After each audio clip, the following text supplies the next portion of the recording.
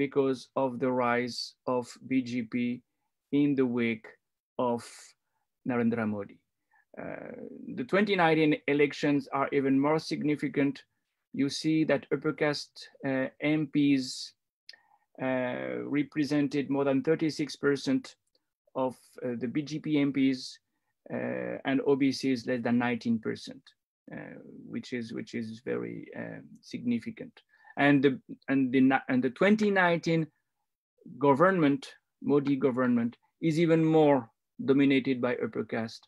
Um, more than 46% of the ministers come from the upper caste in uh, today's government of India.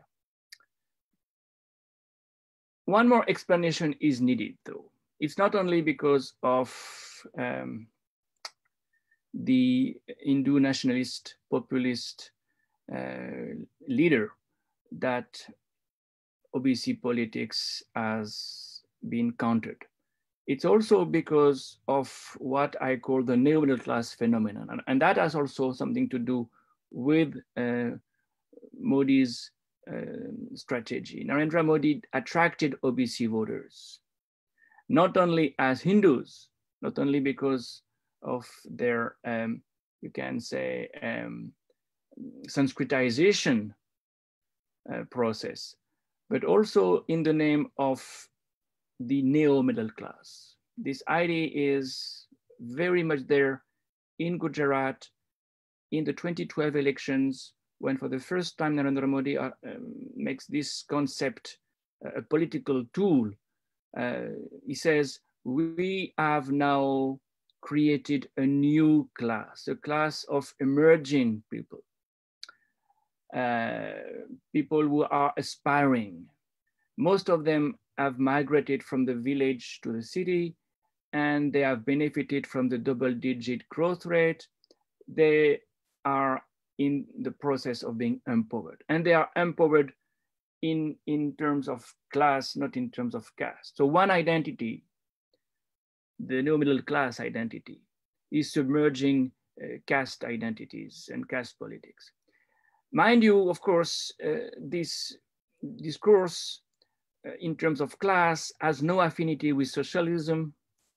On the contrary, uh, instead of asking for more equality and redistribution, uh, the, um, the, the, notion of merit uh, is, key.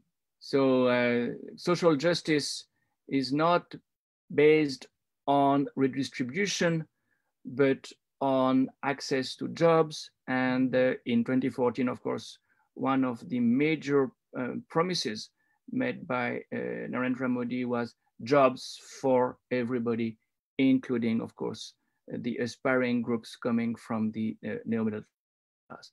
So this discourse um, was, of course, a kind of antidote. Uh, this repertoire was a, a, kind of antidote to uh, positive discrimination. Um, it's not a, a policy that goes in favor of um, redistribution, support for the weak, those who need help. It's a repertoire based on merit, based on hard work, as, as you may remember. Narendra Modi also said that hard work is, for, is better than Harvard. Uh, that's part of the same repertoire. Incidentally, this discourse has gradually become hegemonic um, after the 1991 reform. And, and Congress uh, had always kept this repertoire on a par with positive discrimination.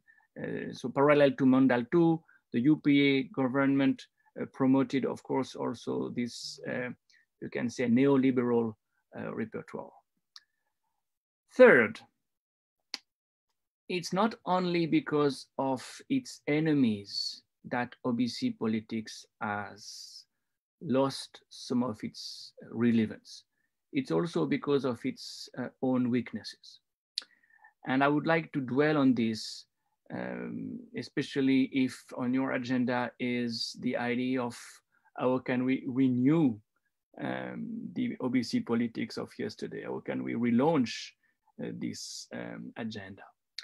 Well, first of all, there is a kind of mechanical decline of OBC politics after each and every state, in addition to the center, introduced the famous 27% quota because you reach a saturation point because of the judiciary. The judiciary made a point not to have the total amount of reservations going beyond 49%.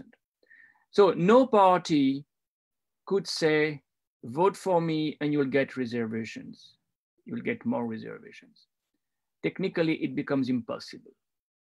And after you have reservations, not only in the um, public sector for jobs, but also uh, in the universities, uh, it's very difficult to, to mobilize OBCs on, on a, a, a, motto like this one, vote for me, you'll get reservations, because what is the frontier? The frontier is the private sector.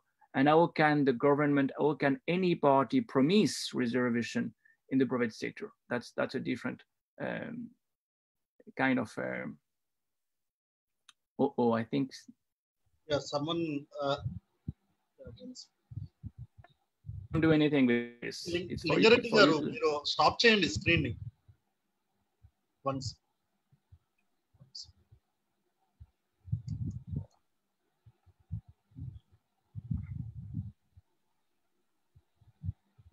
sorry. Is that fine now? Yes, sir. Yes, sir. Yeah so that's one one of the weaknesses of obc politics you know the judiciary and and we could return sir, you to need this to share the screen i'm sorry you need to stay, share the screen I, I thought I was. You, you, you, don't, you don't, you're not seeing my screen anymore? No, sir. Can't, can't you see my screen? No. Ah, uh -uh. So let me start it again.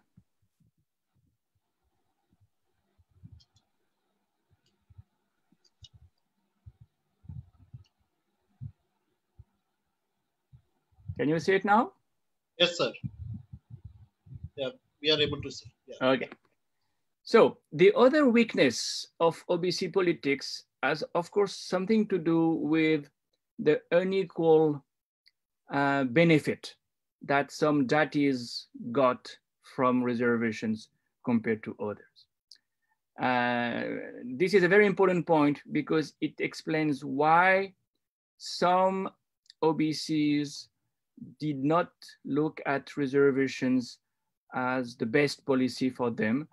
Uh, it's one of the reasons why OBCs remain so divided and divisions within OBCs uh, is very similar to uh, divisions within Dalits and for the same reason.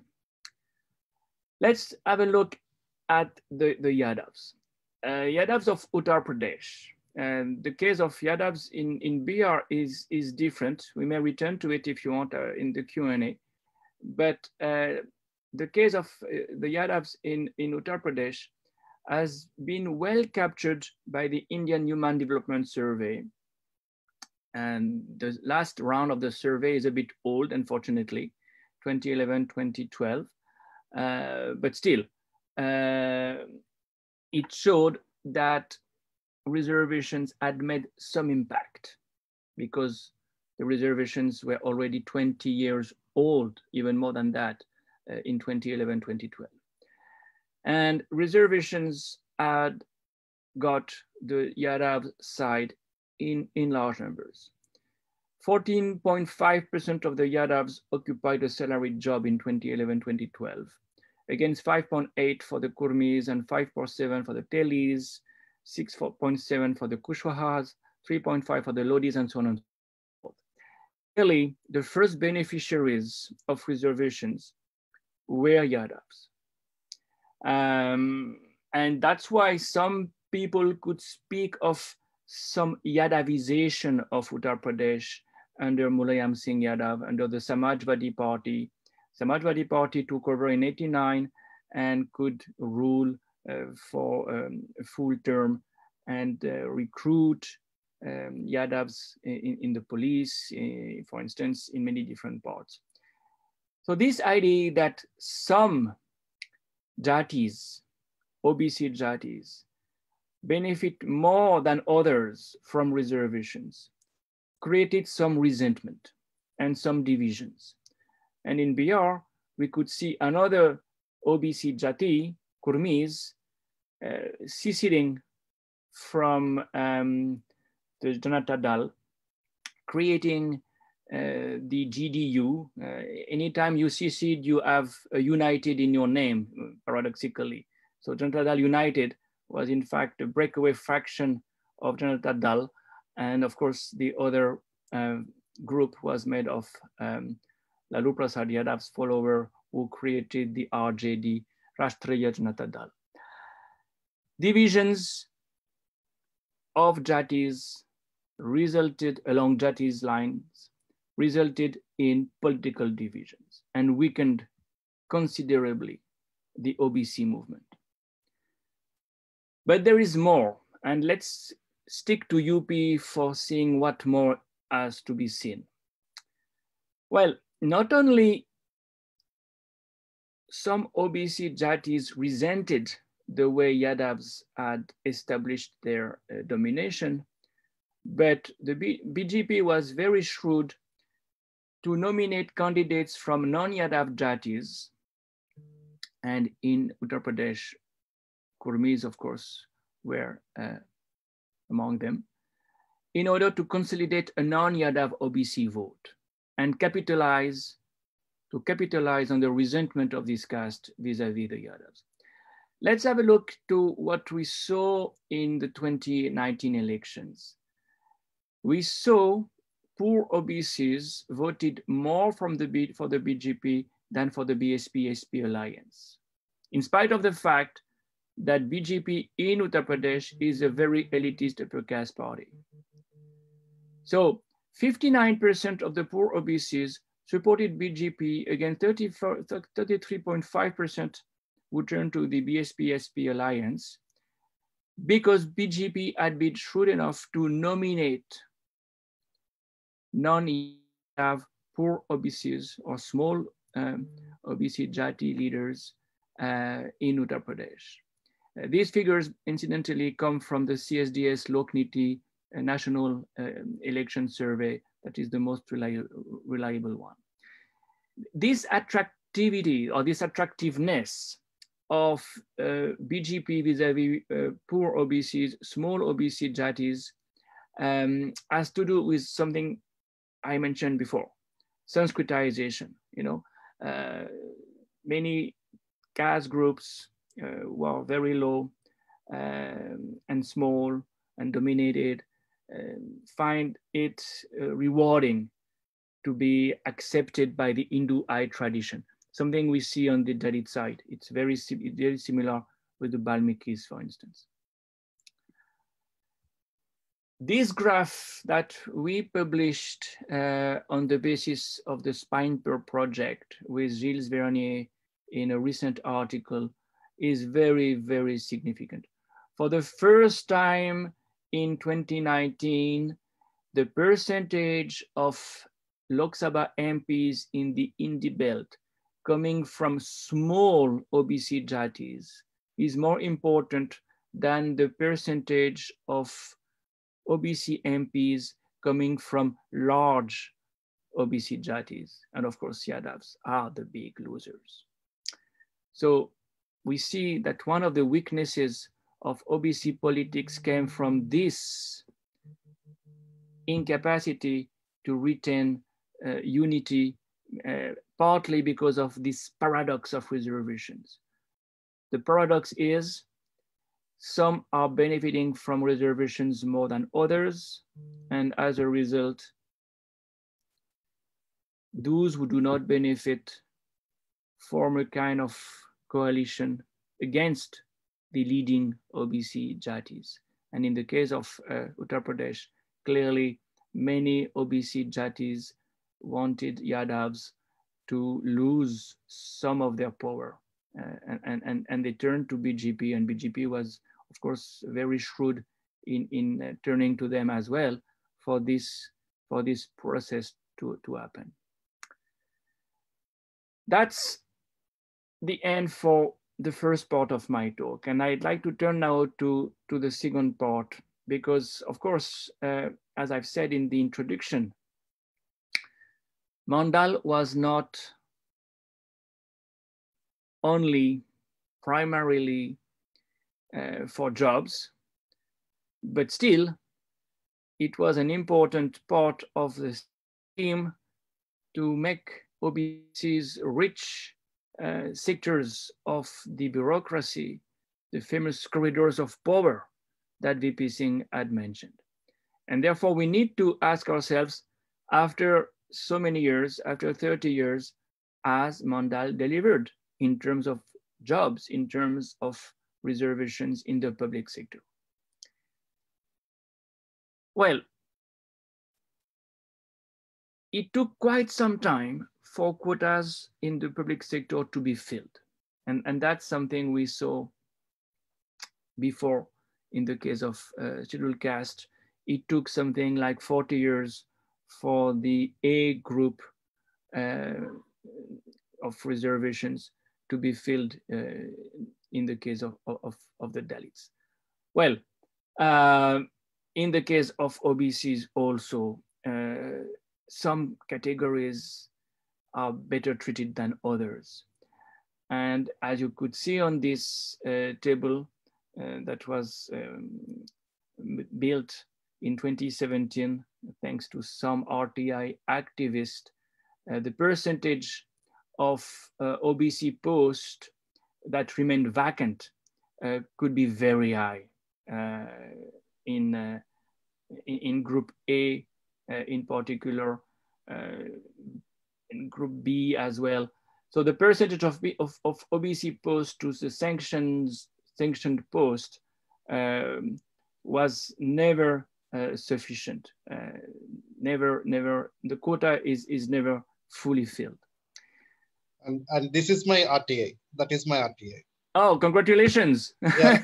it helped a lot. and I feel happy to see it on the screen. Yeah yeah that was very helpful. You know you you you, you rely on these kind of sources. What else do you what else can you do? So please continue. Uh, i can't fail uh, rti myself so uh, yeah.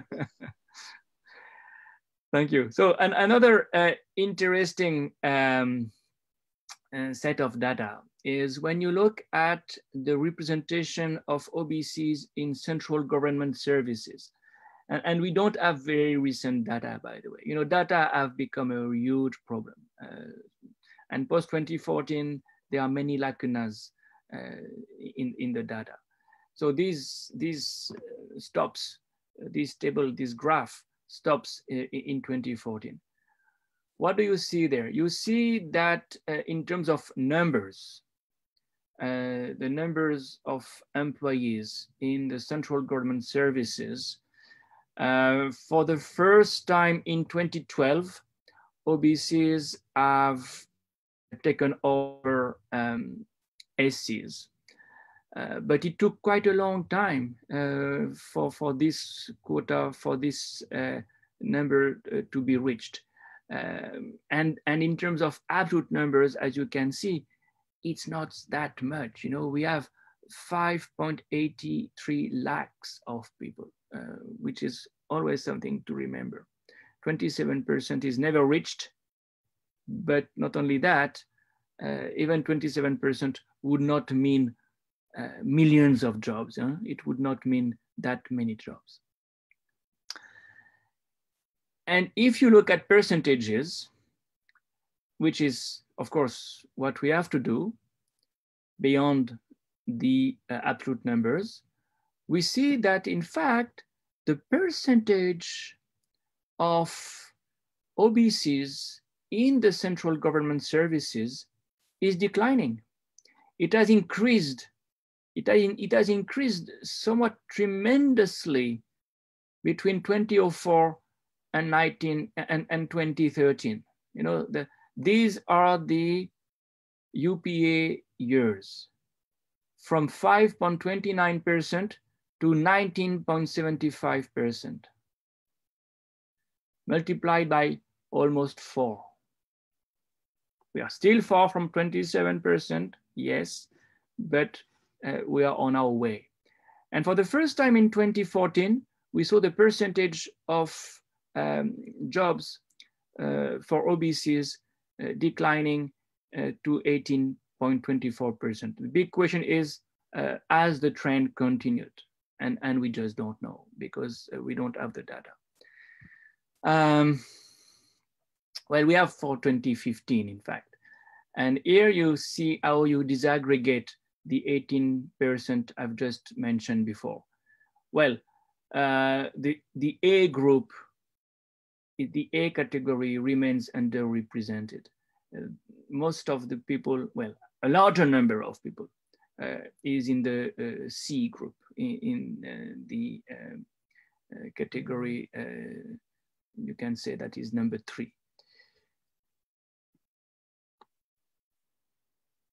if you turn to the um, graph that, com that comes from the table we, have just seen, uh, you see that uh, vi you visualize the fact that uh, in spite of being uh, many more OBCs are not terribly more represented that, than SCs, and they are even less represented than SCs in the A category and B category, which is of course uh, because of history.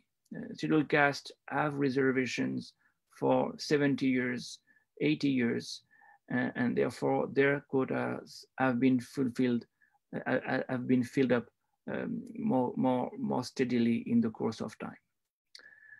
So uh, you can certainly turn to another dimension that is not, and, uh, and it's important to do it, that is not the uh, central government services, but the central public sector to see what's going on in the companies, in the industry, in the uh, PSUs. Uh, and, and there you see that OBCs represent something like 28.5% represented in 2013, 2014, 28.5% of the um, total jobs. Therefore, in that case, the quota is filled up. And, uh, and that's something uh, that uh, started also uh, in 2003, 2004. Uh, 10, 10 percentage points were earned, were won over under the UPA government between 2003 and 2004 and 2013, 2014. So this is of course um, showing a different picture. The central government services uh, are not as reconforting as what we see in the central public sector um, and, and mostly PSUs. But, and that's a very important caveat, we are looking at percentages which represent numbers that are shrinking. Because in the PSUs and in the public sector at large, in the public sector enterprises at large, the number of workers is declining because of vacancies, because of privatization. The number of vacancies is increasing tremendously 7.5 lakh posts are vacant or were vacant in 2014 in the public sector. And we saw therefore that the percentage we mentioned, 20% plus, represent less people today, 81.93 thousands, than the 20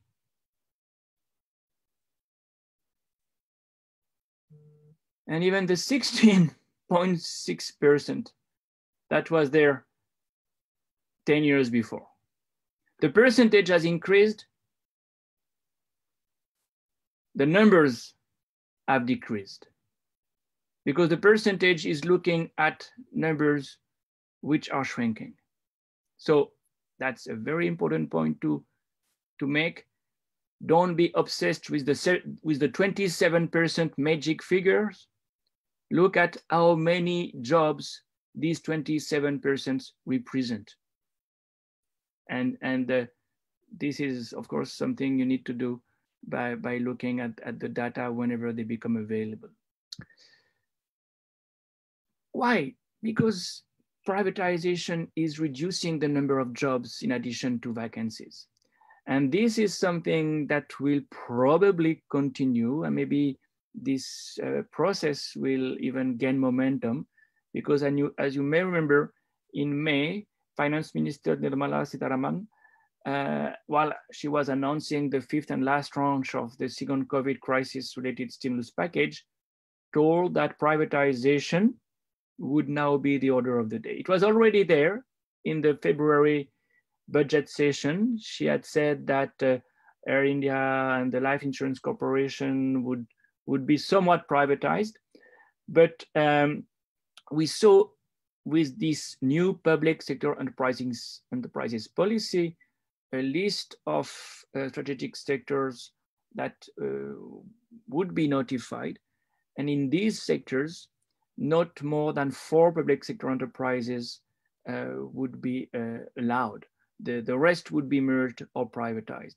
So uh, jobs in public sector enterprises will continue to uh, diminish and therefore the quotas will be inevitably mechanically affected.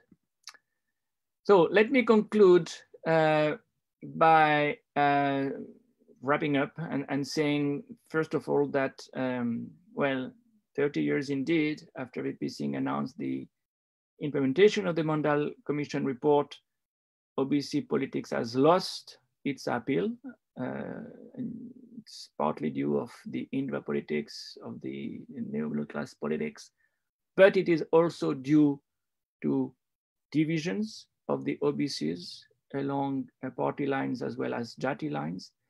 And it's also due, as I have just said, to the policies that the state, the, the government has followed, um, making, making it difficult for OBCs to get their due. Well, paradoxically, that may the reason why uh, OBCs may mobilize again because they have not got their due. I mean, the, the jobs are not there.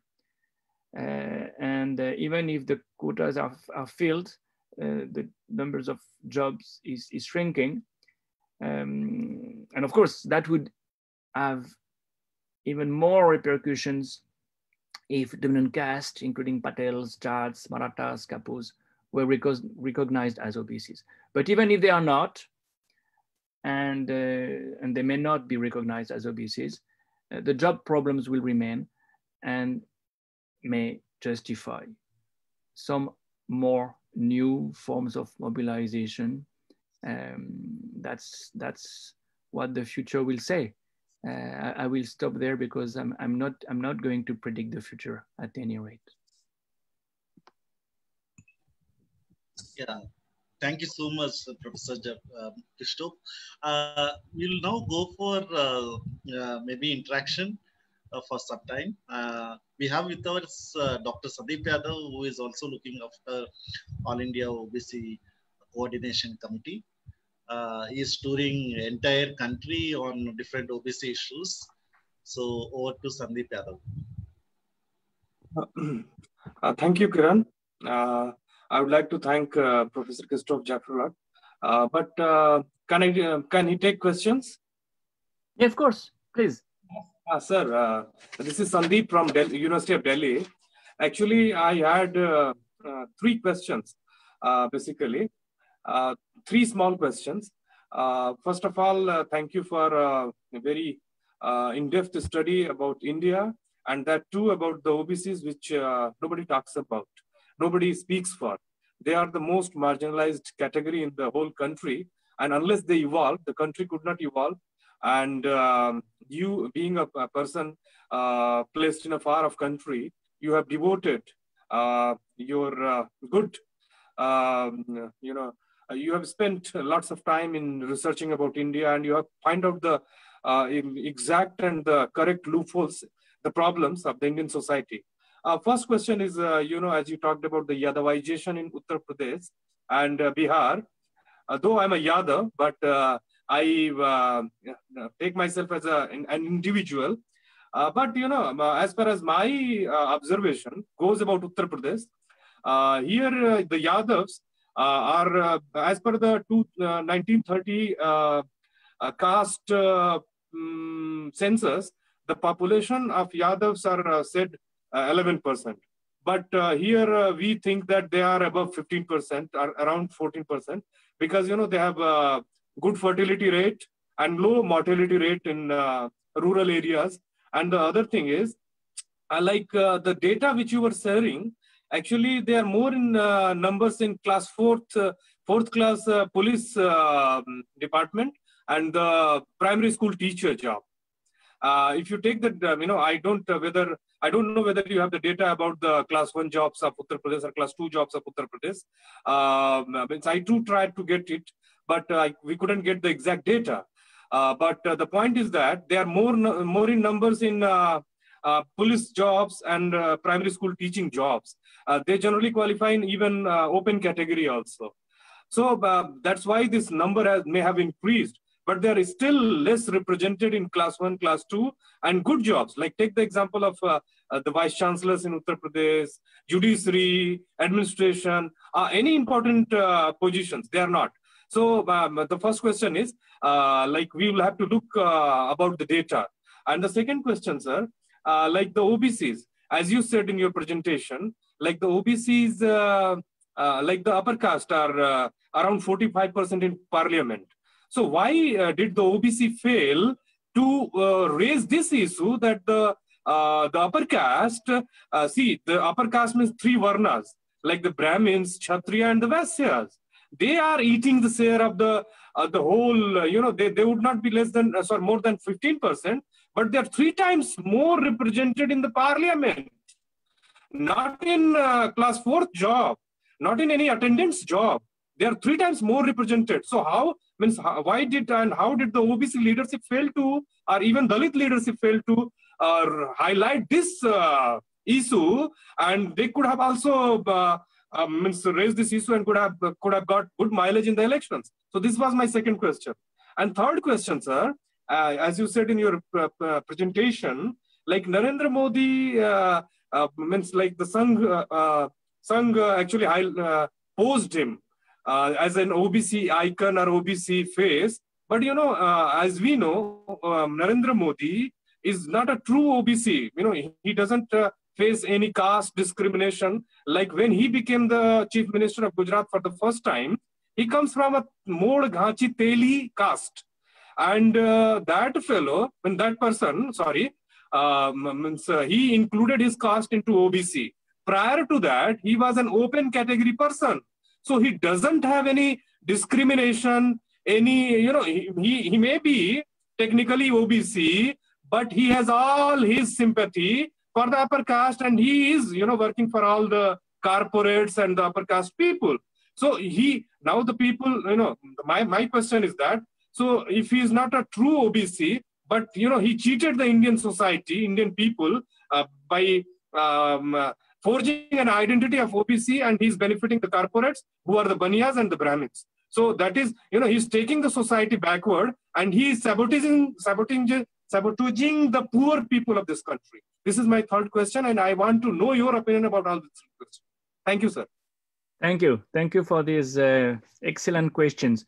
I will take them in this in, in the same order. Um, yes, there is a qualification to what I have said vis-a-vis -vis the Yadavs, and I'm glad you asked the question because you need to disaggregate uh, what is behind a quota uh, you may have a, a C class post and it's not at all the same thing as having A class post. In the case of the Yadavs, it's very interesting. Uh, I, I, don't have the disaggregate, I, I, can't go too deep in this direction, but the uh, Indian Human Development Survey helps us because it shows that in spite of Yadavs having a lot of jobs, they are not rich compared to other groups. Let me give you just a couple of data figures, not from UP this time, but yeah, Bihar. And Bihar is very much in the news, so it's very interesting. You see that in Bihar, Yadavs had more access to reservations than any other OBC group. And of course, this is probably due to 15 years of RJD uh, domination. But if you look at the, the, the per capita income that Yadavs have, they got 12,314 in the uh, 2011-2012 round, when Kushwahas got 18,811 and Kurmis 17,835. So Kushwahas and Kurmis earn something like 30% more than Yadavs. It's very important to keep this in mind. Eh, by the way, uh, it means that Chamars, Jatavs, earn more than Yadavs in Bihar. So this, you see this disconnect. You may have reservations, but these reservations may, may not give you much in terms of resources. But to have the reservations makes you a kind of target because those who do not have access to reservations can make a coalition against the dominant group. And not only because of reservations, of course, in the case of Yadavs. Yadavs were seen as dominant politically. Lalu Prasad Yadav government in 95 had a huge number of Yadav ministers. So the visibility of the Yadavs on the political scene made them a target.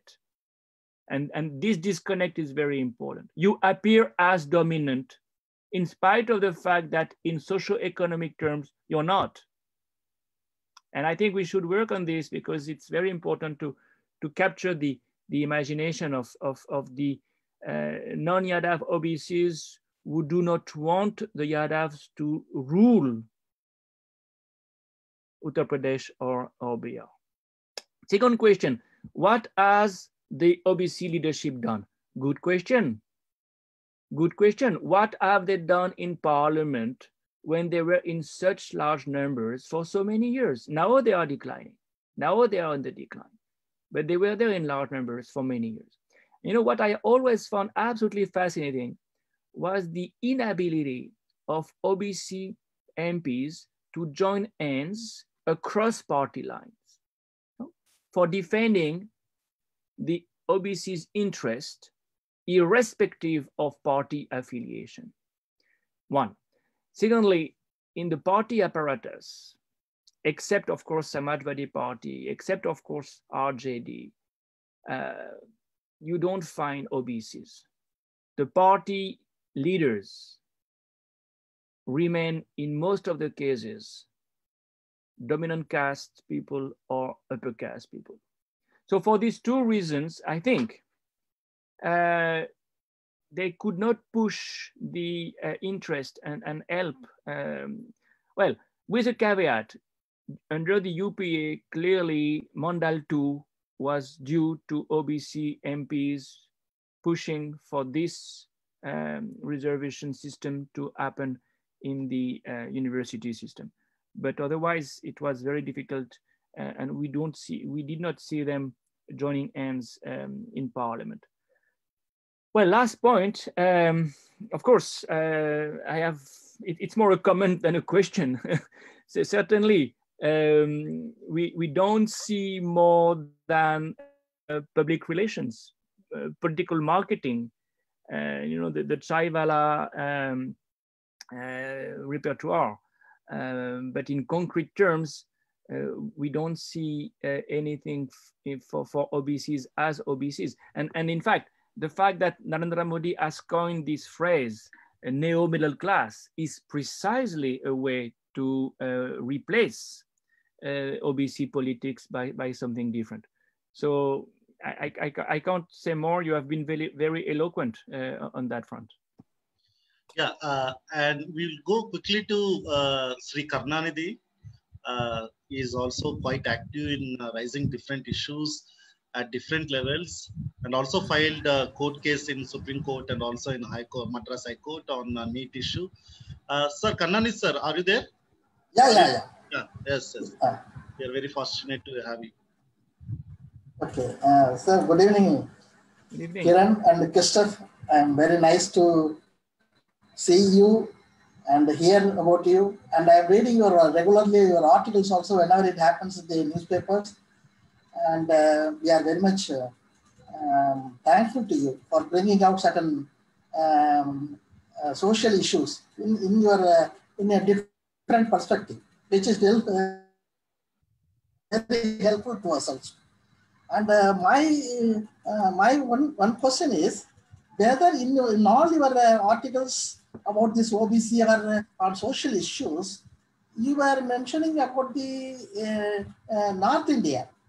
Whether you had any analysis about how Tamil Nadu has worked, how Periyar movement has worked, because that will throw a lot of light in comparison with the other states where Tamil Nadu has succeeded in social front and the other states have failed in that. Whether you had made any analysis on that, that is my one question. Second question is, my view is why this uh, uh, this kind of um, failure in the social justice front after this um, post-Mandal era, when that uh, Mandal Commission came and VP Singh introduced 27% and all this, there is a political mileage uh, in the, particularly in UP and Bihar, where the OBC people and uh, uh, SC people were able to have a say in the politics also. They were able to occupy the positions, but they were not able to sustain that. Because my view, my perspective is because of this, this uh, caste uh, suffixing of the caste uh, in their names, which Periyar did uh, uh, in Tamil Nadu, yeah, all the persons, even though they belong to different caste, there is no suffixing of a, the caste in their name. So when, uh, when, when we talk about social justice, even though yeah, myself and the other person belong to different caste, we never think about that caste angle. We think it as an OBC angle. Whereas in the North India, particularly in UP and Bihar, it comes out as a Yadav and non-Yadav issue, which totally uh, uh, makes an impact on the uh, uh, movement of the OBC movement. Whether I am correct in, the, my, in my perspective, these are the, my major two questions, sir. Thank you. Thank you very much. Um, well, I'm afraid I will not be able to respond to the first one because of my, uh, um, yes, bias. I, I'm really uh, looking at North India and West India, uh, Maharashtra and Gujarat. Um, I, I'm, I'm not at all, uh, and I'm not sufficiently uh, knowledgeable vis-a-vis uh, vis-a-vis the South. But what I would say um, in, in the comparison between the North and the South um, is that um, I do think that in the South, the Dravidian movement helped OBCs tremendously because Yeah. as Dravidians, they had an alternative identity. They could go out of the caste system and say, we were there first in the, after all, we were the um, uh, original people uh, of this land. And uh, they, they, they therefore reversed the hierarchy. Um, you, you were the invaders. You upper caste people have been the invaders. Uh, and not only uh, you claim to be superior, uh, but you are also uh, arrogant and aggressive. So I think the identity that Dravidianism gave to Tamils especially was the antidote to caste and, and, and helped tremendously. In fact, I do think that uh, Baba Ambedkar realized this, had this intuition when he said, let's convert to Buddhism because that way we'll have an alternative identity to caste-based Hinduism. Um, but of course, that could not work uh, as, as well as, as for the Dravidians. For explaining why um, Dalits and uh, OBCs in North India, that's your second question, um, cannot sustain their, their rise to power. Um, yeah. I'm, I'm, I'm sure you, you, you have a, a, a good intuition uh, and uh, I'm, I'm prepared to explore it further. Uh, but, but let's, let's return to this notion because I think you're very right. They have right, they have reason and then they have declined. You know, we saw that in the past on many occasions. In the late 60s, 67, Bihar is the crucible of OBC politics. In the late 70s, Karpuri Thakur, again, Bihar and Uttar Pradesh are very much um, on the rise. And then you have the post-Mandal moment. So you have cycles, cycles of um, assertiveness, emancipation, and then they fall back. Why do they fall back? Why, why isn't it sustainable? I, I do think that one of the reasons is um, divisions within these groups. They can't sustain unity for, the, for, for, for many reasons, including the ones I've just mentioned. And secondly, uh, the strategies of upper caste dominated parties who are always very good at divide and rule, co-opting also uh, those who are for sale. And so many people have no commitment to the cause, but are happy to be to get some kursi, uh, some seat, some portfolio. Um, so all, and last but not least, never forget that in Indian politics, money plays a huge role. And none of these parties can compete vis-a-vis -vis the big, the rich, dominant parties. So for all these reasons, uh, I think uh, the sustainability issue has been has been recurrent. Yeah, and we have with us uh, uh, Sri Surya Rao uh, Sangam, who is uh, active in this uh, uh, most backward caste movement. So over to Sangam Surya Rao. Oh, one minute.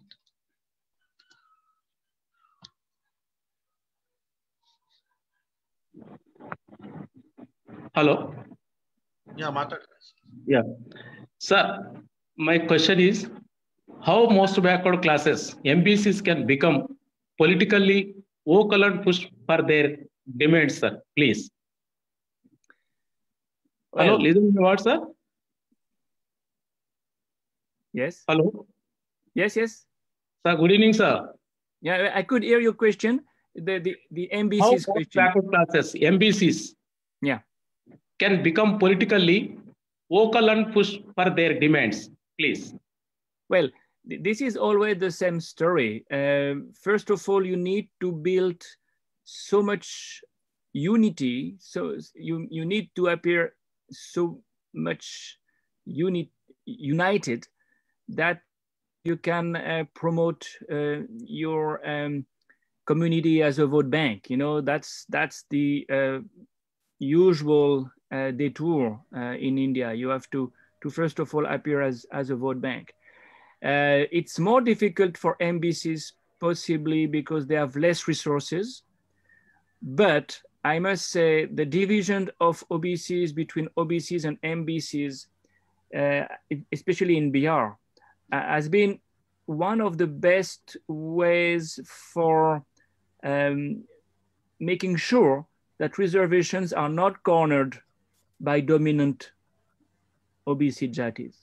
And therefore, it may take a longer time, but, but, but they may benefit in the long run. I think it's much more convincing than the creamy layer arrangement. The creamy layer arrangement uh, is, is not as effective as the division of OBCs between OBCs and MBCs. Yeah, we have with us Professor uh, E. Venkatesu, who is a professor in Department of Political Science, University of Hyderabad. So, Professor Venkatesh. Uh, yeah, I'm uh, happy to uh, interact with uh, Christopher Jaffrelot, who has captured, conceptualized the uh, rise of OBC identity in Indian politics as the rise of plebeians and the social revolution. So at least I have two or three questions. Uh, First one is that uh, silent revolution that has produced the reservation policy, whereas the counter revolution that has produced the OBC prime minister may not be emerging from the OBC uh, identity. At least the RSS, BJP has created their own OBC prime minister, and uh, Narendra Modi claimed he is the OBC 2014 elections and 2019 elections as MBC. So can we look at it as a choice of the OBCs to reserve whether they want a reservation or a prime minister position? So that is the one question. And second is that we have seen that statistical data has been revealing that 27% of the reservations has never been implemented and not benefited. But on the other hand, there has been a contradiction between OBCs and MBCs. So rise of these MBCs, whether we should look at it, uh, it is a damaging to the consolidation of the OBC identity, or is it uh, for the, or is it benefiting of the Bharatiya Janata Party, or whether the OBC, whether MBCs has got any benefit at all from this uh, MBC identity formation. So we have known this uh, Uttar Pradesh experience the social engineering process. Uh, Bahujan Samaj Party are always trying to attract the upper caste vote bank, whereas Bharatiya Janata Party social engineering for the attracting of the lower caste vote bank. That is how it has uh, got benefited uh, immensely. Uh, that is the uh, one question. And third one is that in the context of uh, privatization, as you said, you rightly said that the percentage has been increasing, whereas the number of the people who are supposed to present in the public sector has been declining. The frustration. Is it going to that frustration? Is it the outcome of the MBC, or is it that outcome, that frustration? Is it going to turn into the uh, shaping a new alternative politics or rise of uh, social revolution 2 phase 2 or something how do you predict this in the wake of uh, that available data? These are the, my three questions. Thank you. Thank you very much. Once again, the first question is more a remark, and I fully agree with, with the remark, but your two questions, the two other questions are, are, are um, definitely very interesting. Yes, uh, divisions between MBCs and OBCs could be at the expense of equality uh, and equality-oriented policies, if you use the MBCs against the OBCs. And, and that's what I suggested when I said that um, BJP was very good at nominating candidates from the poorest um, OBC caste in order to fight uh, the, the Yadavs um, in, in Uttar Pradesh and, and, and Bihar especially yes, that's that's definitely a, a caveat. Um, divisions can be um, used politically um, in a negative manner, uh, in spite of the fact that they may be useful uh, for socio-economic objectives. Yeah. The privatization issue, uh, indeed, uh, takes you to this question about, um, well, how can the uh, Mandal moment be resurrected? How can uh, mobilization be um, relaunched? Um, how can I predict that? Of course, I don't know what will happen, but definitely the non-fulfillment of socio-economic objectives can result in more mobilization. Will it be along caste lines? Will it be uh, much more along class lines? Um, that, that's something leaders uh, will, will know better than me, will decide. Uh, social movements can sometimes be more massive if they ignore uh, caste visions, for instance. But if I had to predict something, I would certainly predict that the inequalities, the gaps between the rich and the poor um, may, at the end of the day, uh, result in something new, not along the lines of the uh, Mandal movement, but with a very similar philosophy, uh, at least uh, um, the VP Singh um, motto regarding uh, the need for empowerment. Yeah, uh, we have with us Yashwant. Uh, you want to ask? Yashwant is from uh, TISS, Tata Institute of Social Sciences. Uh, Yashwant, are you there? Yeah. Uh, hello, sir. Uh, this is Yashwant here. Uh, uh, sir, uh, as you have mentioned, ki Mandal politics is not about job, and but we have discussed the entire framework of your uh, presentation, how this has been got benefit out, out of this policy. So I just wanted to understand whether this OBC politics is about only reservation benefit or it has a larger meaning uh, to this politics. And the way Dalit politics has a larger meanings uh, towards the humanitarian values. In that context, how do we see this OBC politics? And the second thing is, uh, as you have presented the case study of uh, Hindi belt, uh, what uh, in a similar way, what kind of changes you have uh, observed in state of Maharashtra in terms of representation at MP, uh, MLA level and any other observation in terms of getting benefits of job and education?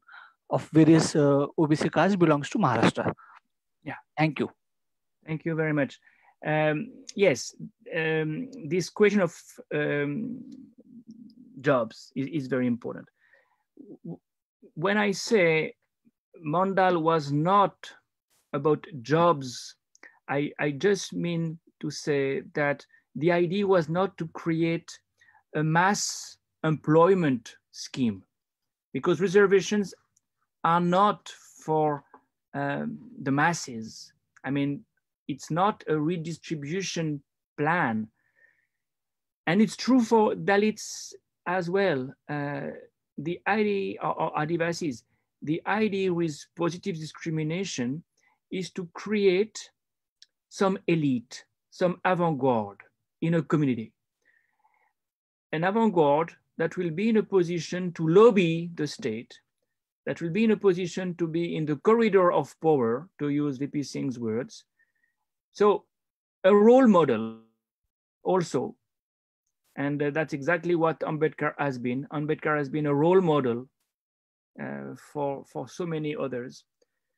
A role model on the one hand, a lobby on the other hand, but not a massive number. So that's the philosophy behind positive discrimination everywhere in the world.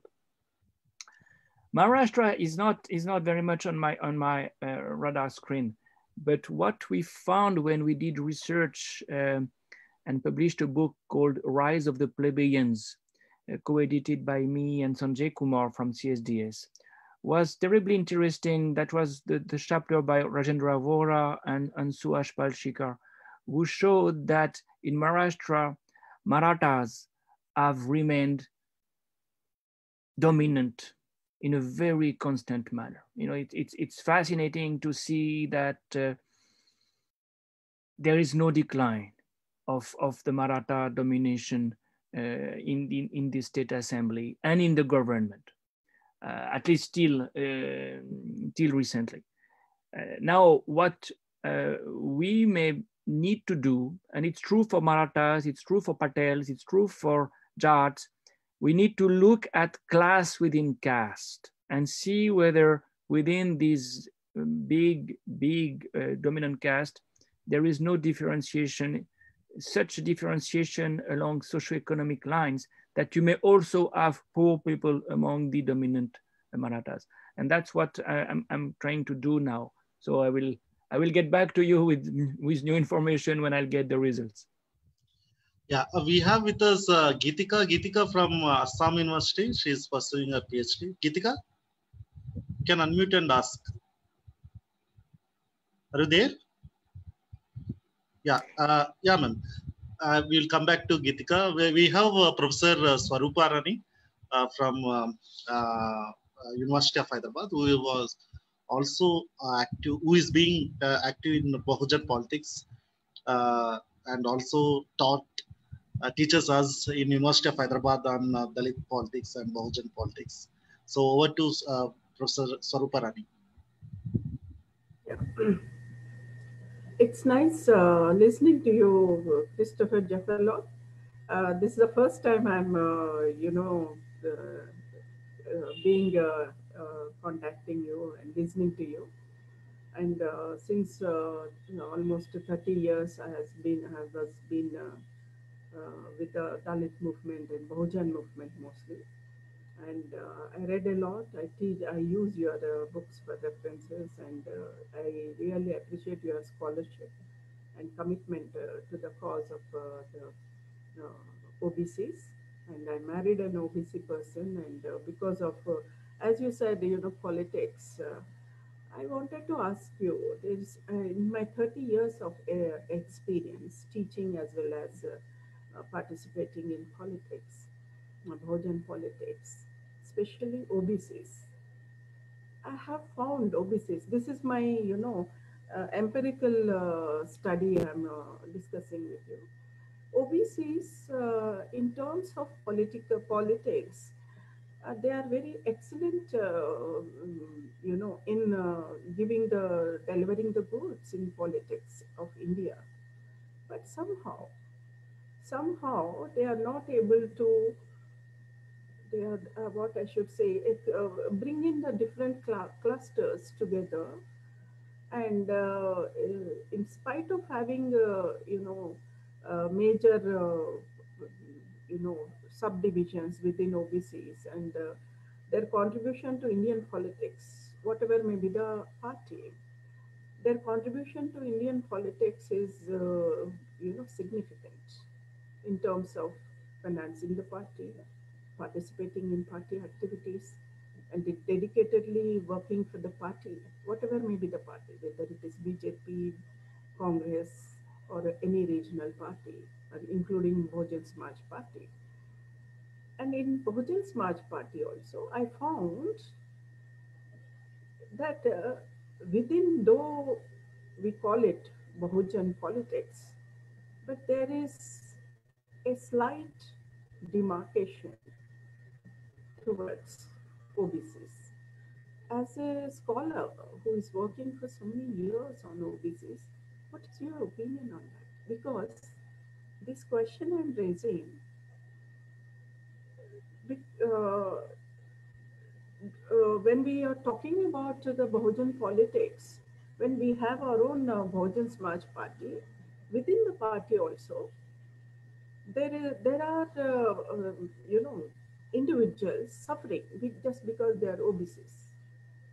This I'm uh, raising with a grief that uh, very recently, two years, two and a half years back, I lost my husband only because of politics, ethical, ethical politics, moral politics. It is very easy to idealize, very uh, flowery to explain, but in Indian context, an OBC coming out or taking about the Bahujan concept and the OBC concept, working with ethical, moral politics, it's very challenging. Very challenging and OBCs are suffering. So how you explain? I would like to know your opinion. It's I'm I'm feeling bad that I lost my husband, but at the same time I have not lost my hope I still would like to work for the OBCs, Bahujans, and SCs, STs because that's very hard, you know, dear to my heart. And I'm trained into politics by uh, Manyavar Kanshiram, sir. So therefore, my, my, you know, I, he was the one who got me married to an OBC, saying that in future politics, Indian politics, SC-BC combination will create an, a remarkable political composition. So what's your opinion? Maybe I'm, I have given more personal uh, thing, but I'm very attached to it. As you are attached and you are studying as a scholar, I'm teaching as well as working, and this is my experience. Uh, okay, I, I, I, still can... have a hope. And how you, uh, what way we can bring in a, a proper understanding, a proper cultural and uh, you said uh, silent revolution. Silent revolution could create uh, a, a, remarkable change. And what sort of silent revolution India need to have at this juncture of time? Uh, time? I would like to know your opinion. Thank you. Well, I, I, have only five minutes left because I have to move uh, to another uh, meeting, but uh, I'll try to do justice to the big questions you've just asked. Um, well, I do think that uh, OBCs have uh, not been as articulate, as sharp as the uh, Dalits have been because they missed a, a, an Ambedkar, you know, he, he made such a huge difference. So that's, that's a major contrast. There is no sense of unity the way you can have on the Ambedkarites side because you don't have the corpus, you don't have the uh, figure, the personality that could uh, um, embody the fight, embody the, uh, the battle. That's one. Secondly, the problem with OBCs, it's that it's a very diverse category. It's, um, you know, Dalits are the ex-untouchables. So there is a kind of red line. They've been separated from the rest for millennia, at least centuries. OBCs, you know, you can't say they are Shudras, they are not. Uh, the uh, Jats, uh, Marathas uh, are Shudras, uh, dominant caste. So in among the OBCs, you don't have this traditional um, legacy. Plus, and more importantly, the diversity between the, the small ones, the poor ones, and the, and the rich ones is huge. And, and this, and last but not least, this diversity is, is captured by the fact that one caste group may be OBC in one state and not an OBC in another state. And within the same state, you may be a Maratha or you may be a Maratha Kunbi. You know, you have shades of hierarchy. So the, for all these reasons, I think it was much more difficult for, for the OBCs to have a leader, to have an ideology, to have a sense of unity. But the fact that you have hope, uh, I think is the most important one.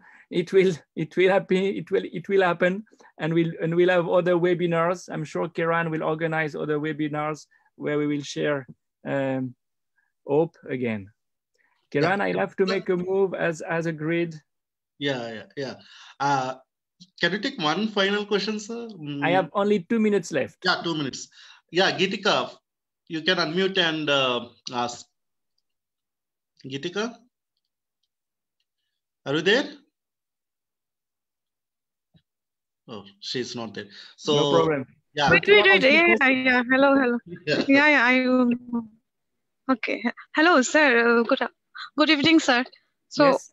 sir, my uh, my question is that the what uh, measure or what suggestion would you like to give to the student uh, who are enjoying OBC uh, this one reservation in Central University?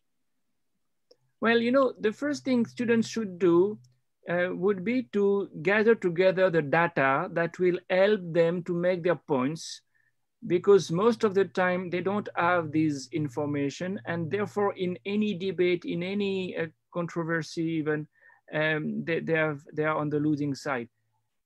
Do build your case, do build your case properly. Incidentally, that's why Kiran does. He's very good at collecting data.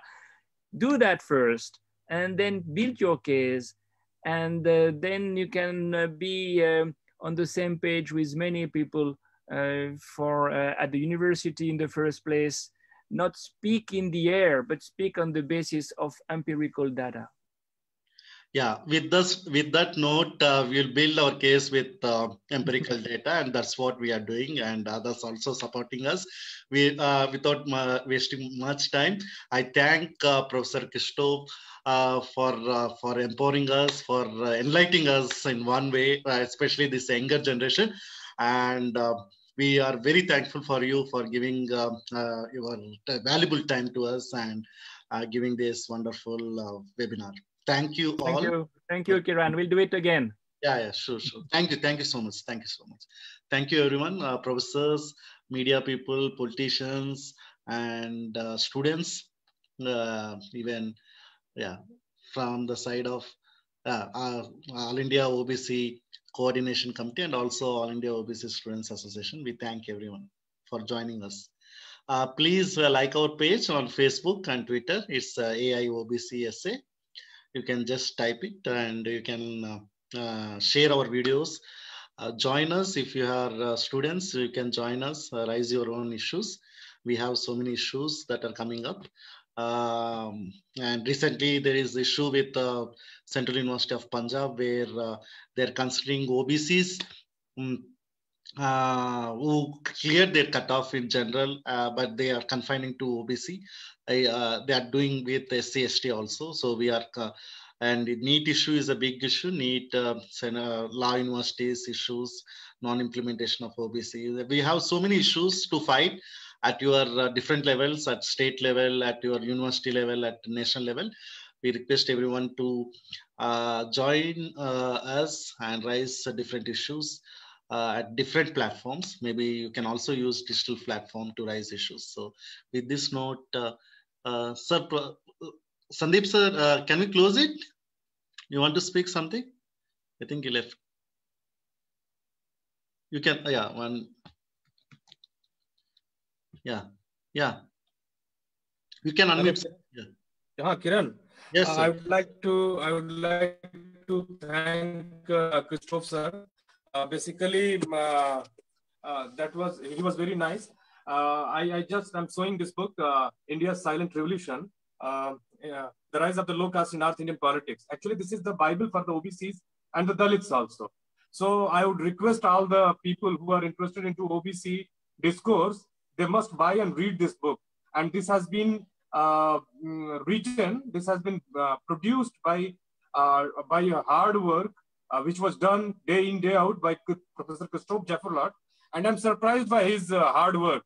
Um, you know, uh, a day ago he would be in Paris, and the other day he would be in London, and he would find him. I mean, you would find him after two days, a couple of days in India. He, he works so hard for the epistemic base of the OBCs and the Dalits from India. So I don't take him, I don't consider him as a person, as a citizen of France, I take him as a citizen of the humanity. And I take him as a more true Indian than anyone else uh, in this uh, world. So he is a person who has truly, who has uh, objectively raised the issues of uh, discrimination to the poor of this country. He deserves not, you know, he we, we love him. Uh, and that's uh, actually, he's a person uh, he has put in lots of labor uh, for the involvement of the uh, I mean, involvement of a poor country, epistemically poor country like India, Pakistan, and he has done a huge work. I have read some of his articles. I follow him. He he uh, works so hard. You know, you can just have the glimpse of his study room from where he was speaking to us. Uh, it is full of books, data here and there, and uh, you you can just imagine. Whenever we request him, I requested him personally, he said that you collaborate with Kiran and uh, organize that le lecture. We did it. We would, when he comes to Delhi, I would, uh, you know, uh, organize a, a, program where we would felicitate him. He deserves our felicitation. We would honor him because he is a person who has worked for the uh, poor, uh, poor of the country tirelessly, raising all the important issues. So he is a true human being who is not of France, but of more than I mean, but but but of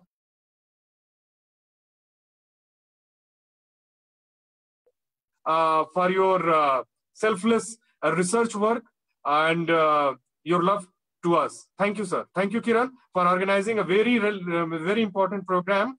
And thank you all who joined this program and uh, make it a great success. Uh, we, we have recorded it. We would put it on like YouTube and other important uh, places where you can have access of it. So thank you. Thank you all. Thank you very much. Kiran. Thank you, sir. Thank you very much. We'll close this session. I think uh, Pappu Yadav, sir, you want to talk? Sorry, he's, he's, he left. Is you're there? No, sir. You can, oh, one minute, one minute. I will. Uh, yeah, you can unmute. So, no, Kiranji, no, no mention, no mention. Uh, first of all, thank you very much for, for arranging very tremendous seminar. Really, I salute you. uh, uh, thank you also the Sandeep sir. Uh, my please uh, provide me the Sandeep sir number. Uh, me, uh, I want to talk Sandeep sir. Yeah, we'll share. We'll share. Yeah. Thank you very much. Thank you very much. Yeah. Next time I will. Uh, I, I have typed my number. I typed my number in chat. You kindly get it from there. Oh, okay, sir. Okay, thank you. Sir, I think you also need some Facebook page, sir. Sandeep sir that the All India OBC Coordination Committee page. Maybe that will be useful for everyone to message you or uh, interact with you. We'll do it, Kiran. Nine We'll three five zero nine four nine six seven. Thank you, sir. Thank you. Thank you, Samji sir. Thank you all. Thank you, Kiran. Okay. We'll Yeah, do it, huh? yeah, yeah. Mohammed Danish, you want to talk? You want to speak? You raised your hand. Okay, he left. So we'll close the meeting. And We'll share this video to everyone. Uh, it will be available on Facebook, WhatsApp, uh, and also on. Uh, we'll also share the link on uh, uh, Twitter, and you can also share it with your friends um, and in your circles. Thank you, everyone. Okay. Thank you. Thank you. Thank you.